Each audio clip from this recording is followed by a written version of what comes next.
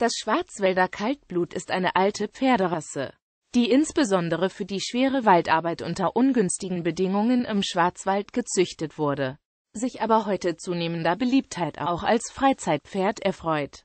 Es steht auf der roten Liste der gefährdeten einheimischen Nutztierrassen in Deutschland. In Deutschland gab es 2012 mehr als 700 Zuchtstuten und ca. 40 geklötte Hengste. Hintergrundinformationen zur Pferdebewertung und Zucht finden sich unter Exterieur, Interieur und Pferdezucht. Exterieur Schwarzwälder sind in der Regel Füchse oder Dunkelfüchse mit heller Mähne. Es können auch braune sein, ganz selten ist ein Schimmel oder ein Rappe. Sie haben ein Stockmaß von 148 bis 160 cm, einen kurzen, markanten Kopf, kräftigen Hals, schräge Schulter, breite Kruppe und raumgreifende Gänge. Das Gewicht beträgt 600 bis 700 Kilogramm. In den vergangenen zwei Jahrzehnten wurde das Zuchtziel eines etwas höheren Stockmaßes als früher verfolgt und erreicht da die Pferde nicht nur Schrittarbeit leisten sollten und sowohl zum Fahren als auch zunehmend zum Reiten verwendet werden. Schwarzwälder Pferde sind heute beliebte Freizeitpferde und gut zum Reiten geeignet. Obwohl nahezu alle Schwarzwälder Kaltblüter traditionell Lichtfüchse sind, also ein rötliches Fell mit heller Mähne und hellem Schweif besitzen, gibt es unter ihnen, wie oben beschrieben, auch sehr wenige Tiere anderer Farbe. Da einige Pferde dieser Rasse eine extrem dunkle Fellfarbe mit hellem Langhaar haben können, entstehen immer wieder Diskussionen darüber, ob es sich bei diesen Tieren um sehr dunkle Lichtfüchse oder aber um Rappen mit dem Windfarbgen, welches schwarzes Langhaar aufhält, handelt. In diversen Studien wurde jedoch durch genetische Tests belegt, dass die erste Annahme korrekt ist. Auch die dunklen Vertreter der Schwarzwälder Kaltblüter sind genetisch Füchse. Interessanterweise wurde in einer weiteren genetischen Studie jedoch nachgewiesen, dass das Windfarbgen, das bei fuchsfarbenen Pferde keinen Effekt auf die Fellfarbe hat und dort nur verdeckt getragen wird, dennoch zu einem sehr geringen Prozentsatz beim Schwarzwälder Kaltblüter vorhanden ist.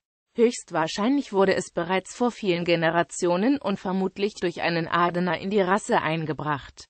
Wegen der fehlenden Auswirkung bei Füchsen gab es jedoch keinen Grund für eine Selektion auf dieses Gen und es ging weitgehend wieder verloren. Interieur, Genügsamkeit und Gutmütigkeit zeichnen die langlebigen, zehn Schwarzwälder Füchse aus.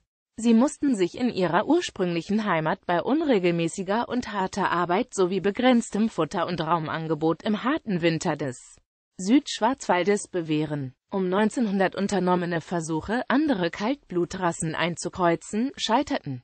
Der Schwarzwälder wird als Arbeits- und Freizeitreitpferd verwendet.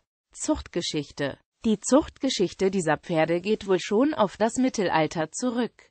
Früheste Aufzeichnungen über das Wälderpferd finden sich in Klöstern und stammen vom Beginn des 15. Jahrhunderts. Das Wälderpferd wurde von den Landwirten im Schwarzwald gezüchtet und wird genealogisch der Norica-Gruppe der Pferderassen zugeordnet.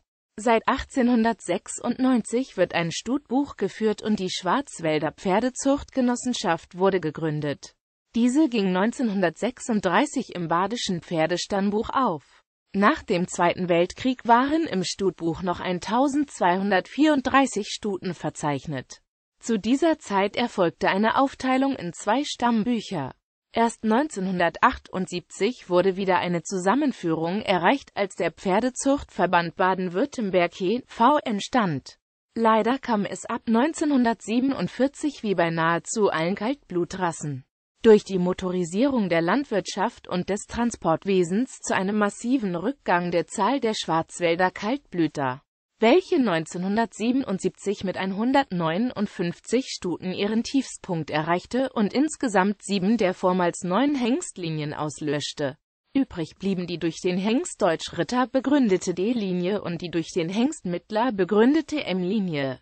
Der Typ des heute wieder begehrten Wälderpferds wäre nicht ohne den Widerstand der Stutenhalter in der Zeit zwischen 1880 und etwa 1960 erhalten geblieben. 1880 trat das Körgesetz in Kraft, auf dessen Grundlage das Landgestüt in Karlsruhe über die Einkreuzung schwerer ausländischer Kaltblutrassen versuchte, den Typ des badischen Kaltblutpferdes deutlich zu verändern. Die Bauern im Schwarzwald wehrten sich dagegen. Indem sie weiterhin und trotz der Androhung hoher Geldstrafen ungekürte Hengste des Wälder-Typs zur Zucht verwendeten. Dies hatte auch praktische Gründe, denn viele der schweren Kreuzungsstiere waren nur bedingt brauchbar für die harten Bedingungen. Die Arbeit im Gelände des Schwarzwaldes und die weiterführende Zucht.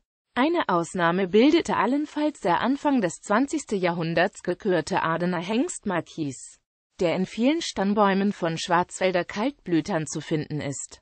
In den letzten Jahrzehnten wurde es aufgrund der nur noch geringen Zahl reinrassiger Stuten notwendig, einzelne Hengste anderer Rassen zur Zucht zuzulassen, um eine zu hohe Inzucht zu vermeiden.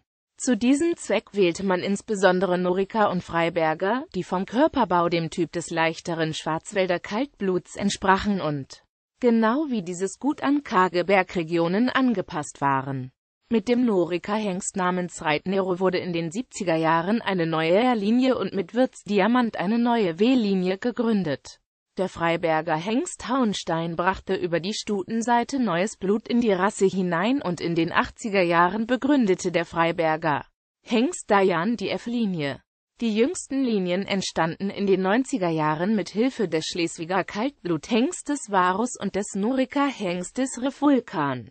Im Jahr 2002 wurden 236 Schwarzwälder Kaltblüter der M-Linie 185 der R-Linie 155 der D-Linie 90 der W-Linie 16 der F-Linie 7 der K-Linie und 4 der V-Linie zugeordnet. Deckhengste stehen heute zum Beispiel in den verschiedenen Stationen des Haupt- und Landgestüts Marbach.